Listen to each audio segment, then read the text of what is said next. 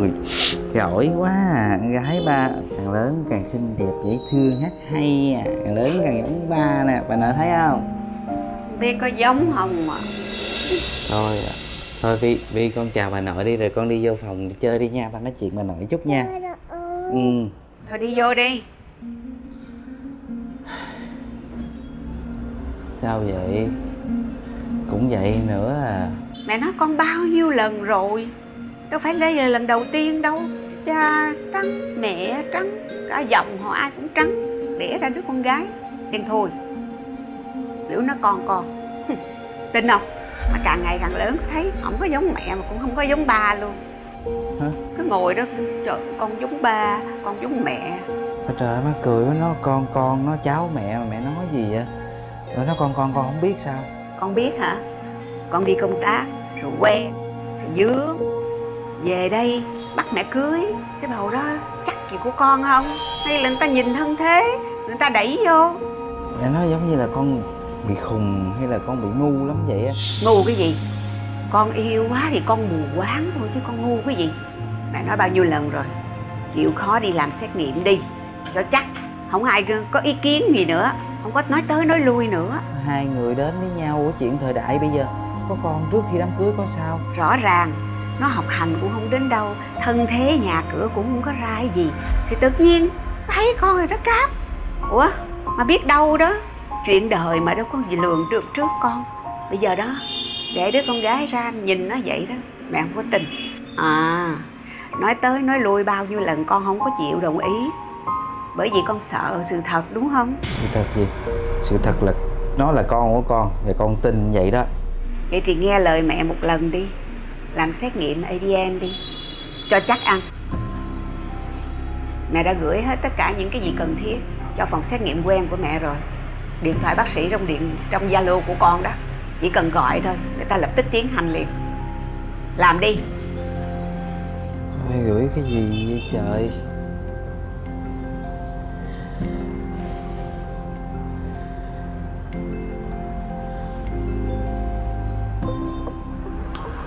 Ủa anh Ờ Hai mẹ con chơi gì vậy? Vi mới ăn cơm xong rồi chờ ba về nè Ừ Anh Ờ, sao vậy? Sao thấy mặt anh lo lắng quá vậy? Có cái này ờ, anh muốn nói với em là Hôm nay anh có dẫn bé Vi nó đi làm một cái số xét nghiệm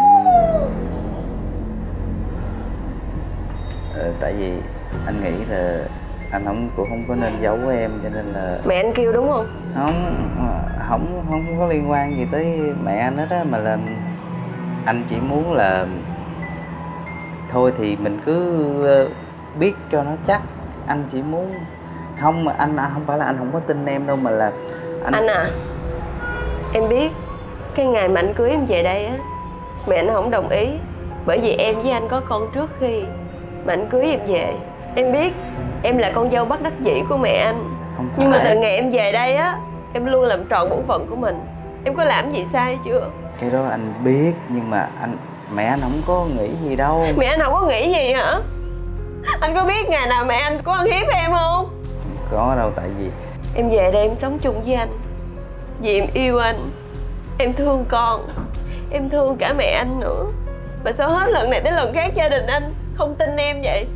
Anh anh nói là không phải là anh không tin em mà là ở đây là mình mình kiểm tra vậy cho nó cho cho, cho Cho nó chắc. Em làm gì mà anh nghĩ là không chắc? Hả?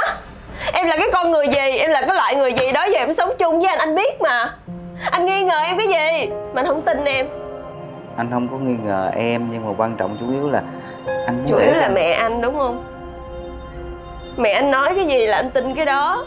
Anh hết lần này đến lần khác anh làm tổn thương em. Đây là lần thứ bao nhiêu anh nghi ngờ em rồi? Tất cả cái việc con của chúng ta mà anh cũng nghi ngờ em nữa hả? Anh đâu có nghi gì đâu nhưng mà hả mẹ anh muốn làm vậy để cho bà yên tâm thôi cứ để cho bà yên tâm đi. Cùng lắm rồi sau khi mà có kết quả rồi á thì hết chuyện mà rồi, rồi em, em nếu mà em em cũng chắc nó là con của anh thì đâu có chuyện gì đâu đúng không?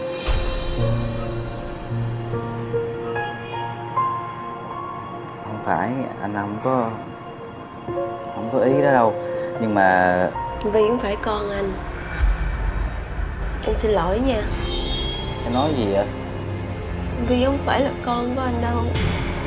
Em nói cái gì vậy? Em giỡn với anh đó hả? Cái cái là không có vợ chơi đúng không? Không phải. Thiệt. Nó nó nó đừng đừng đừng đừng đừng đừng đừng nói vậy Em nói anh đâu có tin đâu. Thì bây giờ em nói thiệt cho anh nghe đó. Vi không phải là con của anh. Dù kết quả xét nghiệm ra là con của anh hay không Thì ngay từ giờ phút này Vi là con của em Và chỉ là con của em thôi. Nè.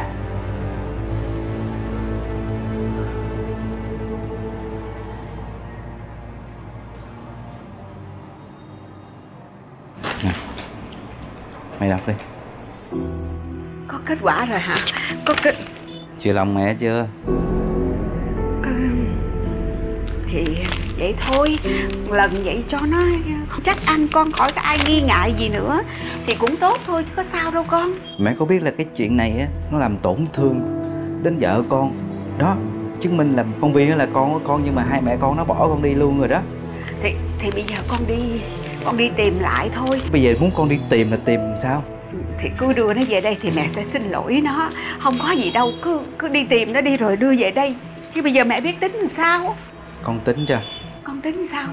Đi tìm hai mẹ con nó về là phải tìm rồi đó. À, sau đó đó mẹ đừng dính dáng gì đến cuộc đời của con nữa hết.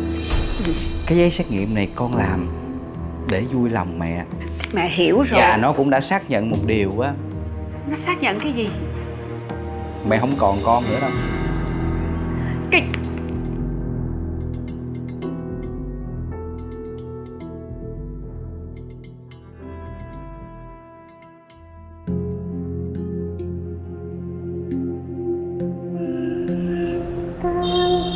thì